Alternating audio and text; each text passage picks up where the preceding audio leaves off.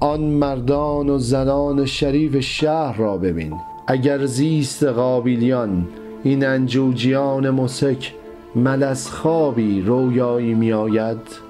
زیست زنان و مردان شریف شهر چون کابوسی کش آمده بیداری مرگ را از پس این زیست طلب می کند.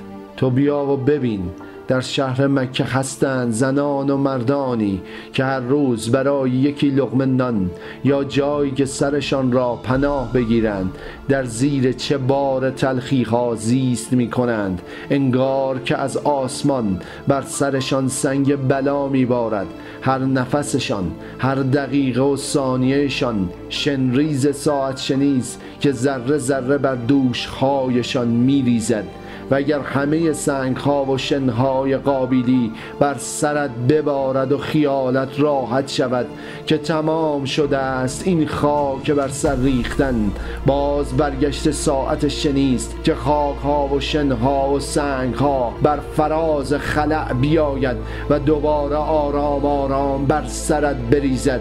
تکرار توهین و توهم خدایان این است با هر صبری از سرریز دردها دوباره ساعت شنی برمیگردد و هر چرا بر پایت تحمل کردی دوباره بر سرت میریزد.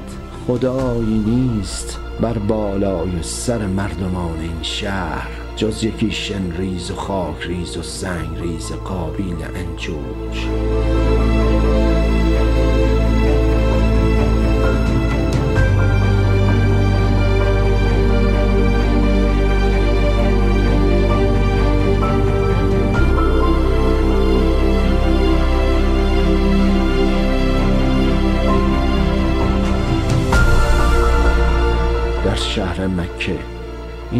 بیقوارگی را ببین ببین ببین.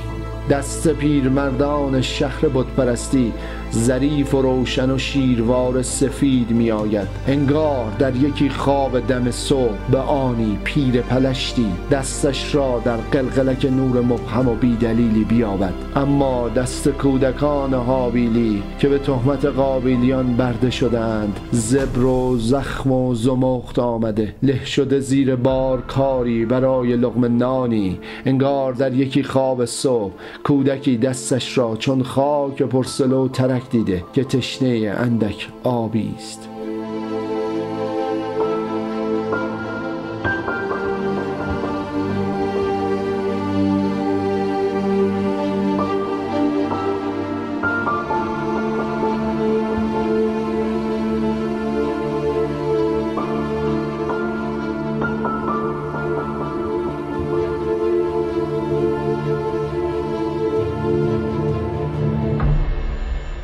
صورت و گونه پیرمردان انجوج شهر مکه در بخور هر روزه عطر و انبر و مواد مغذی که نشخار می شود در نجواهای خودپرستانهشان که بر گوش مفت بردگان شهر می ریزند چه خوب گل انداخته. اما گونه دختر بچگان این کابوس شهر چون چای تاریک چون برهودی خوش بر بیخند لبانشان سنگین و فروغ افتاده آمده. پیرمردان این شهر هر خندانی هستند در خلوت و خانهشان و هر آن که بر کوی برزن می‌شوند با اخم تفاوت و تحقیر و تفاخرشان بر بردگان این شهر کابوس می‌شوند. بیداری مردمان مکه از حضور تلخ و تاریک اینان چه ترساور است و غمبار.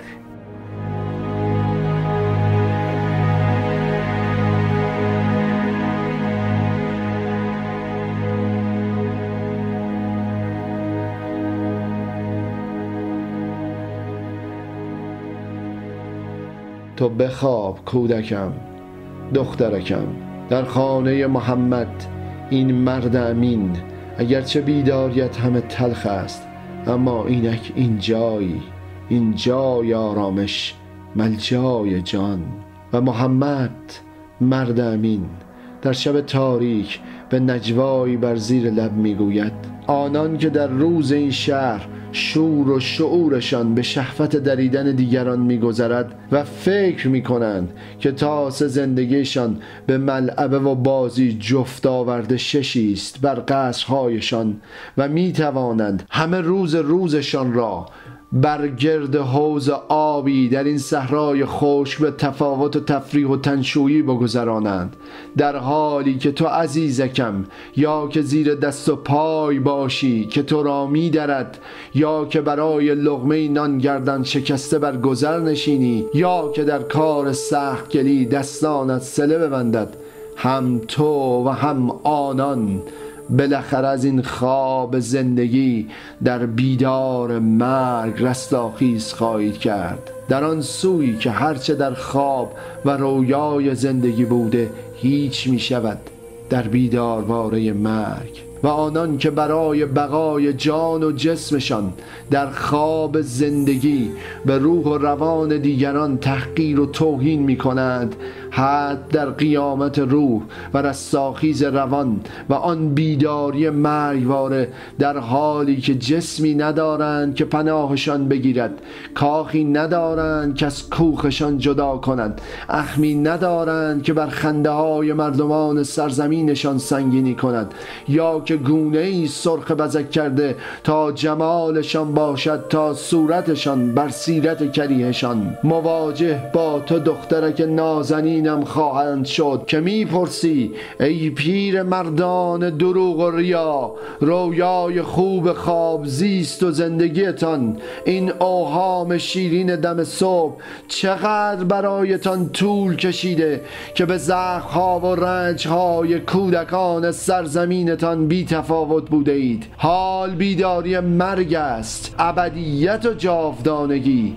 زخمهایی را که ما کودکان در زمان زیست بی تفاوتیتان خوردیم را. همه یک سر در خانه آن مرد امین نگه داشته ایم و اینک آمده ایم آزاد شویم و هر آنچه که شما به ما داده اید را به شما برمیگردانیم. قیامتتان همه این باشد.